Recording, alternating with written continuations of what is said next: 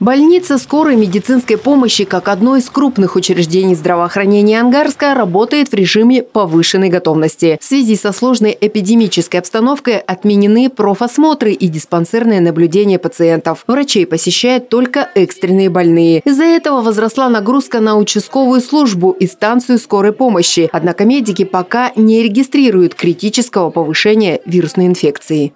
Бояться коронавирусной инфекции не надо, но нужно выполнять соответствующие мероприятия ограничительного характера, которые как раз и предупреждают э, распространение данного вида инфекции на территории Иркутской области. Мы медицинская организация, которая оказывает практически всю экстренную медицинскую помощь. Естественно, э, в этой ситуации мы просто обязаны принимать повышенные меры готовности, повышенные меры предупреждения, поскольку Э, мы единственная организация, которая принимает на себя острый коронарный синдром, инсульты, тяжелую травму, острую гинекологическую патологию, острую нейрохирургическую патологию и так далее. Особую группу риска составляют ангарчане, которые только что вернулись из-за границы. Приехав в регион, они обязаны связаться со своей поликлиникой. Связаться по телефону, приходить на прием к доктору не нужно. При недомогании необходимо вызвать врача на дом. На период самоизоляции медучреждение выдаст больничный лист. Это 14 дней жесткого карантина, когда нельзя даже выходить из собственной квартиры.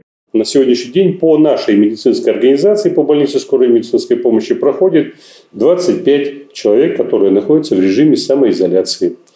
А, значит, они наблюдаются а, нашим, нашей участковой службой в телефонном режиме, а, информируют нас о состоянии своего здоровья, о температуре, о наличии каких-то признаков.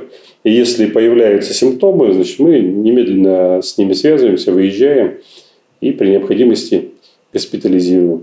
За минувшие выходные двух пациентов БСМП госпитализировали в инфекционную больницу Иркутска. Там у них возьмут соответствующие анализы, чтобы подтвердить или опровергнуть подозрения на коронавирус. Для уточнения лабораторные исследования также отправят в Новосибирск. А пока для посещений закрыт также и стационар больницы. Мария Константинова, Дмитрий Швецов. Местное время.